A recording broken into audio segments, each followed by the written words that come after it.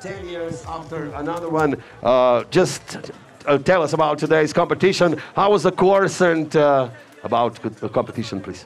Yeah, of course, I have to say a big uh, compliment to the organization team. They did yesterday. Yesterday was a lot of raining, and today we find perfect conditions. So, hands up for Rogla always. We, we now we compete here 10 years, and we have every year perfect snow. So, the Slovenians they know how to do a perfect slope, and uh, so I, we always like to come here, especially Italian team.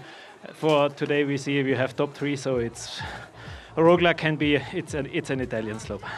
And also unforgettable victory for you. You won the first World Cup competition and now 10th World Cup year, so 2023.